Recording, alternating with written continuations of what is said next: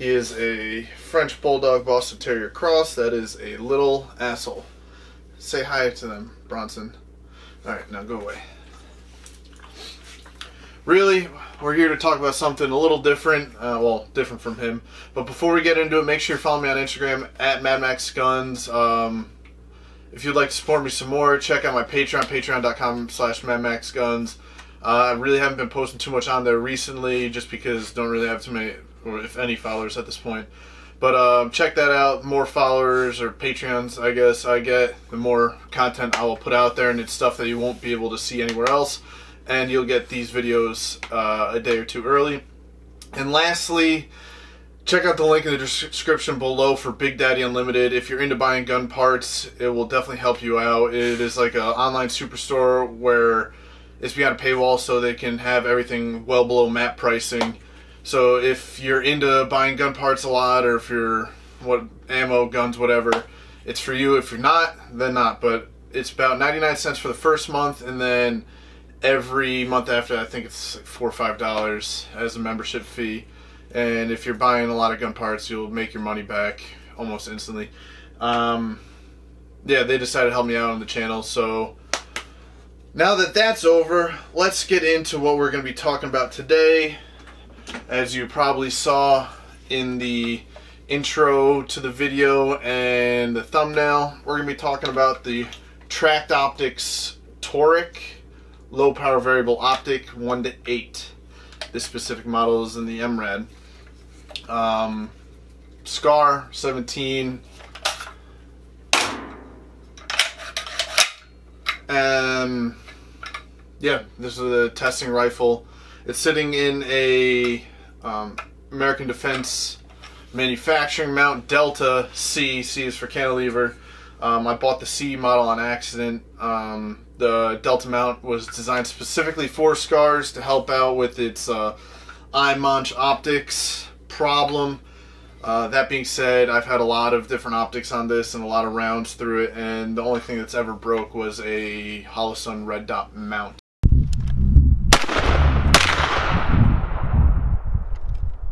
Well, there goes that.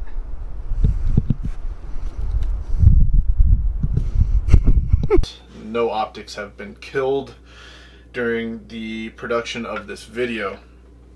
But with all that out of the way, if you got any questions about the SCAR, I got a bunch of other videos on it. My opinion on it has changed over the years, but if you got any questions about it, drop in the comments, hit me up in the DMs, what have you.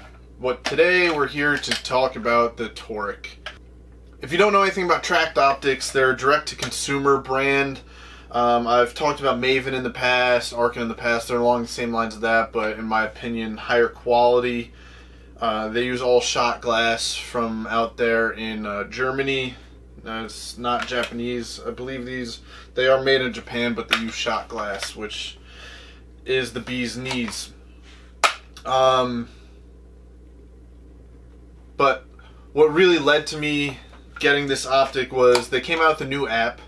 Um, it's like a ballistic app, but it's designed specifically around their optics, and I figured if I was going to try to use the app, I have to use it with one of their optics just because how the app works. I'm going to talk about that at the end of the video and uh, show me, I got a little clip of me out at the range using the app with this out to a little bit of distance.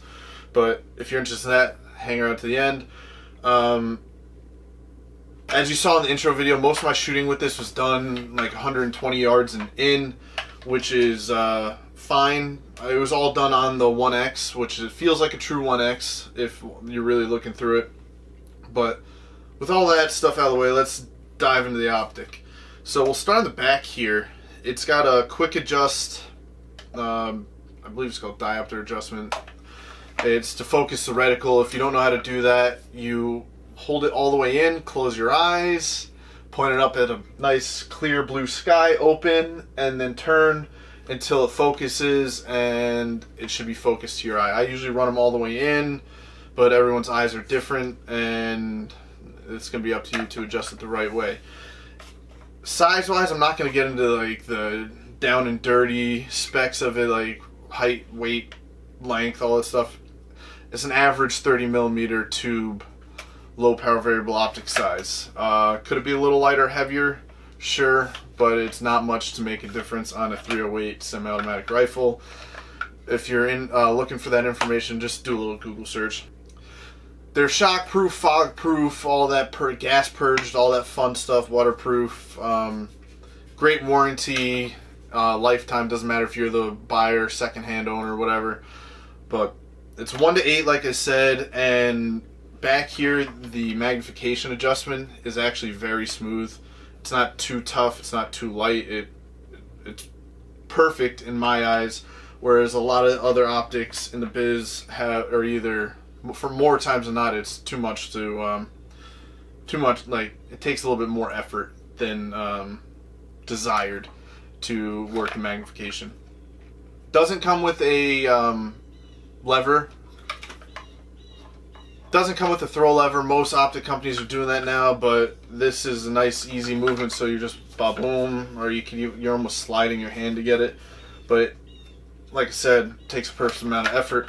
We got cap turrets here, which for a low power variable optic, um, I think is what you're looking for because you're not dialing. Well, I'm not dialing um, on a one to eight for distant shots. If you can't hold over with the reticle, then um, don't take the shot, I guess. But you got cap turns. This is the mill. This is the mill model. You got 0.2 mil adjustments instead of the 0.1 on a typical optic because this is a low power variable optic. It the MOA model is half MOA adjustments instead of quarter MOA adjustments, which it makes sense for this. The illumination isn't quite daylight bright for those really bright days, um, but it it's if you have an overcast, it is bright enough. Um, it's not going to work as a red dot. It, it's just not going to, and, and that's fine because it's a low power variable optic. Um, the illumination is what it should be these days, where it, it used to be you, you dialed up from zero to 10 with no space in between. This has off in between each setting, which I think every illuminated reticle should be these days. takes a standard 2032 battery and the glass clarity on this, I, I can't get over how clear it is, but the um, reticle is a standard crosshair with mill hashes or subtensions going down, going left and right. And there's even some on top. And for windage and elevation up, you got five mils out before it goes to a, like a thick line. And then for elevation below, it goes down to 10 mils. And it is a second focal plane, which I've changed my tune on that over probably the past two years. If it's under 10 power, maybe even if 10 power, I don't find the need for it to be first focal plane just because it's good to have like the full reticle view, pull everything to the center. Um, if you're using a regular optic, 12 or above, I think second focal plane is a little bit better. I mean, I think first focal plane is better for that. If you don't know about first focal plane versus second focal plane, I did a video on it a little while ago. Shit, it almost might be a year by now, but yeah.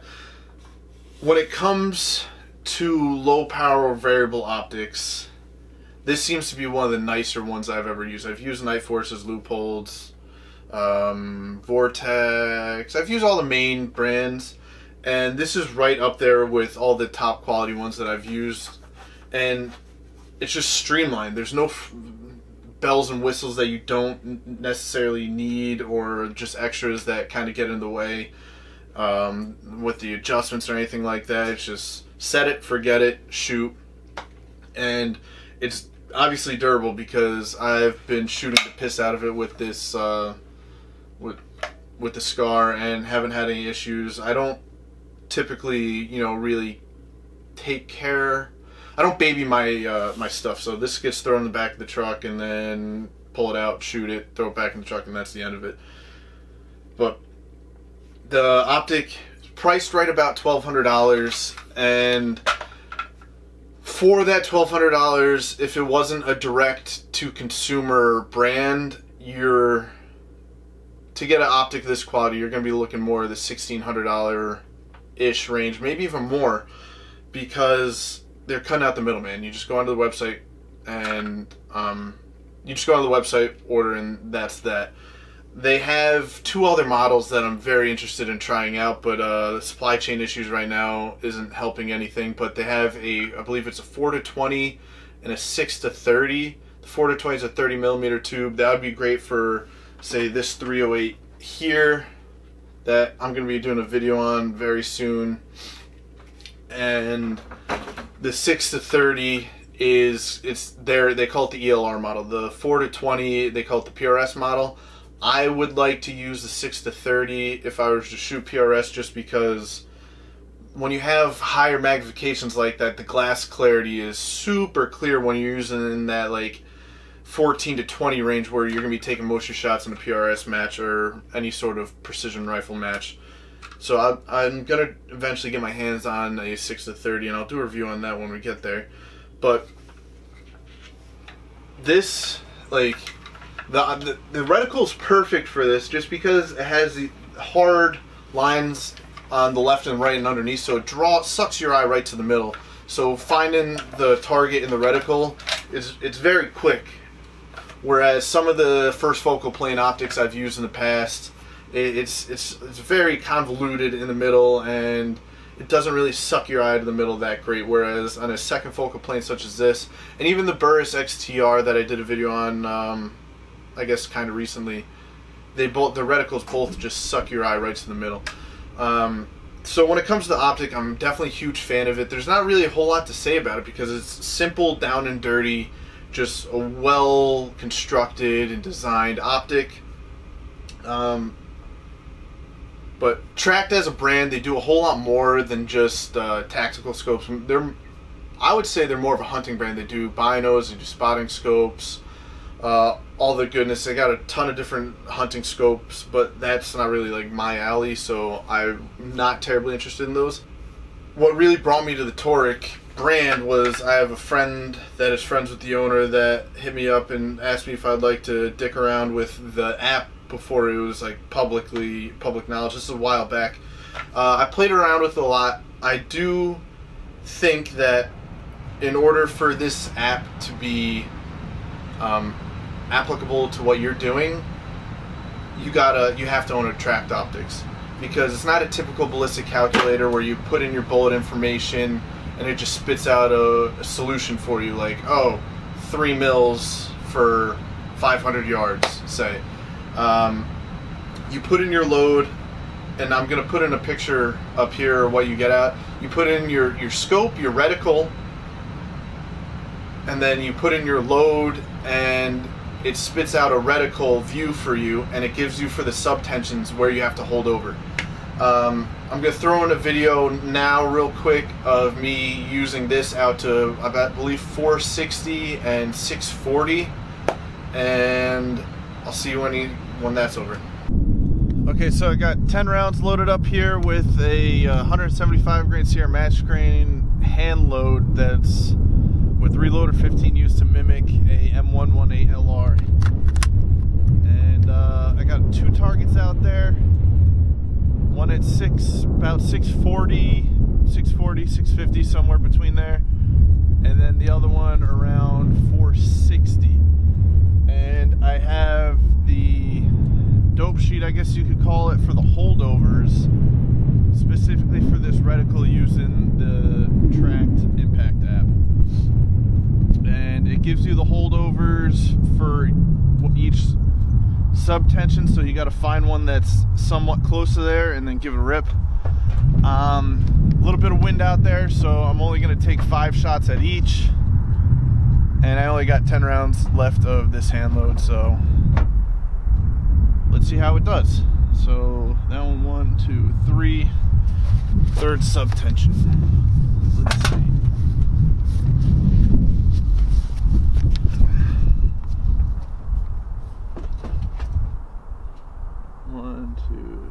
right subtension, we'll hold left edge. Oh.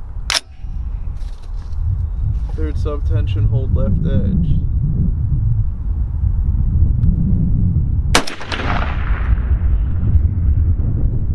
No impact, no spot. Oh, I see it. It's right at the base. So it right, looks like fourth subtension, hold center.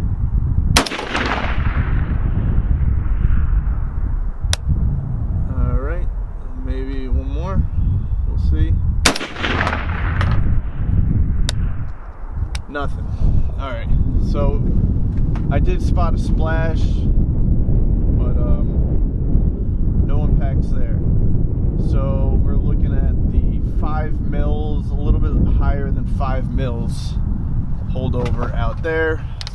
Fortunately, out there I have a backstop, so we should be able to see the splash. Okay. Let's give it a whirl.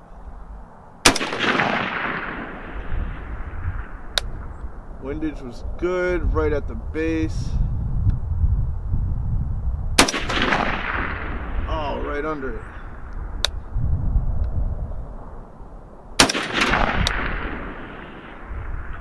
All right, that's a center punch.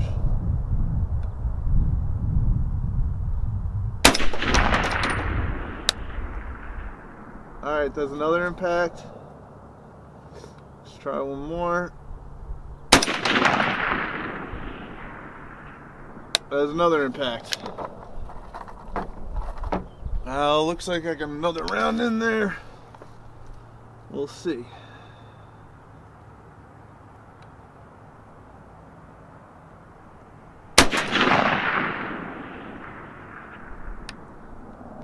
I think that's impact two.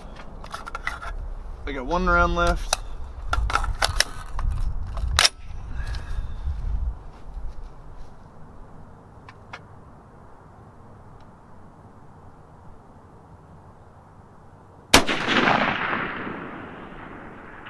There we go. So, told me to hold at five for 635. Um, I ended up holding at six for center punches, and six it says 707, so it's a little off, but it at least gets you pretty close.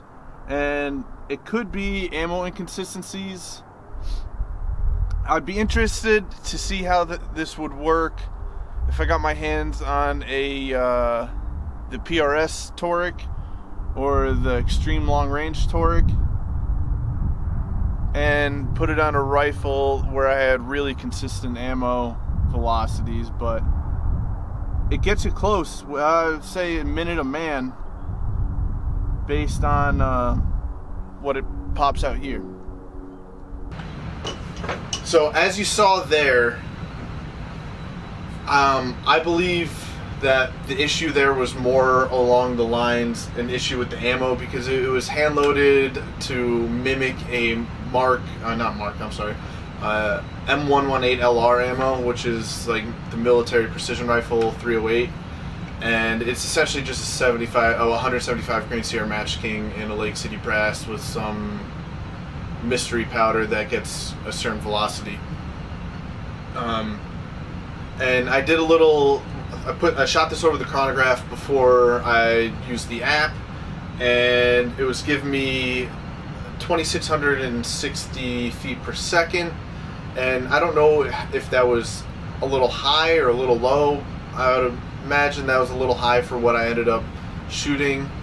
And what was nice about this, it gets you freaking close, if not on, with this optic and it's pretty cool because on on the app you can dial between since it's second focal plane not first focal plane you can dial between the magnifications where on a first focal plane the subtensions are the same thing across the board. But like say the one mil hash on one x on this was like out to 1100 yards or something like that. It might have been like 2200 it was something crazy. Whereas the one mil hash whereas the one mil hash on this was like 200 yards or 150 or something like that. But it was telling for the long target, the long uh, for the target that I was out at 640 or whatever it was. It might have been a little further than that where I was sitting. I didn't range it, but it's usually around 640 where I shoot from. And it was falling about a mil short, like it was falling right at the base of the target. but I saw the splash. So I corrected. There was a ton of wind going on out there, as you probably heard in that video, and corrected from there. And I, out of, out of six shots, I think I made four impacts. The first two shots were corrections, and well, the first two shots was to see where the impact was. Second was a correction, went right under. And the last four made impacts, which is um, I would I'd call that a win for the app. However, I think this with this app it would be gold if you're using with one of the first focal plane higher magnification rounds on a gun where you're more comfortable with the ammo and you know that's gonna be dialed in correctly.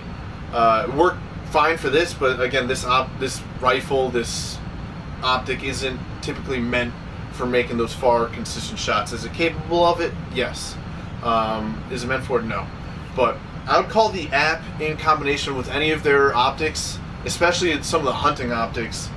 If you're out uh, out shooting whatever, range, you glass whatever your target is, whatever animal it is, throw in your uh, calculations real quick. You should have it saved already. You should know your bullet velocity before going out and doing your shooting. You just pull up the reticle information with your dope. I guess it's like a dope sheet, but it's just drop data and oh my target's at 400 yards there's the holdover for it or you can dial it if you want to take the shot bada boom who's better than you but I think Tract Optics is a win. Um, check out their stuff tractoptics.com check out their social medias. I believe they even have a YouTube channel. Um, I'm not getting paid for any of this stuff but definitely worth checking it out. But yeah man. Tract Optics Toric low power variable optic, one to eight. Uh, if you're looking for something in the thousand and like eight hundred to twelve hundred dollar price range, I feel like this is definitely quality wise and value wise almost impossible to beat. But if you got any more questions on this, drop them in the DMs. If you got any more questions that you want to actually have a conversation on, hit me in the DMs. Otherwise, drop in the comments. I'll usually be able to answer. Um, hopefully you like you liked the video. Let me know what you thought about the intro. Uh, let me let me know what you think about this little white background here. I got a little fancy ring light and a white background I found. Uh, literally found it. So I figured I'd give it a whirl, do a couple videos with it, see what the feedback is. But um, as always, make sure you follow me on Instagram. Subscribe here for obvious reasons. Drop comments, share all of that fun stuff. Um, check out my Patreon. Well, su- subscribe to my Patreon if you want to help out the channel. Check out Big Daddy Unlimited. Uh, as always, Thanks for watching.